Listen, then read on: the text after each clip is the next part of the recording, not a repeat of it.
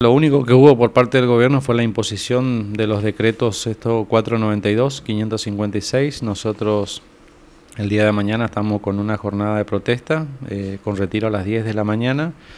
Vamos a concurrir a la legislatura a solicitar audiencia formal y eh, presentar los recursos de reconsideración y nulidad al decreto 492 y de reconsideración y revisión al decreto 556, ya que es los legisladores los que deben por ley dar eh, los sueldos, otorgar los sueldos y los aumentos de sueldo al Poder Judicial del Chaco, así lo establece la Constitución.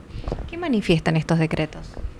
Bueno, estos decretos hacen una diferencia, eh, básicamente una diferencia porcentual en el aumento a los que más cobran, eh, otorgándole una, una adicional del 30% y a las categorías intermedias e inferiores un aumento de un adicional del 15% por incompatibilidad laboral, que sí es constitucional. Nosotros por la Constitución no podemos ejercer eh, profesión, cargo o, función en ningún particular ni pública que no sea eh, solamente en el Poder Judicial. Entonces nosotros llamamos a la reflexión a todos los magistrados y funcionarios. Si hay que modificar la ley de porcentualidad, nosotros ya el año pasado planteamos que sí, o sea, hay, hay maneras, mirando legislación comparada como la de Santa Fe, Entre Ríos, eh, plantean un, enganche directo con el juez de Cámara.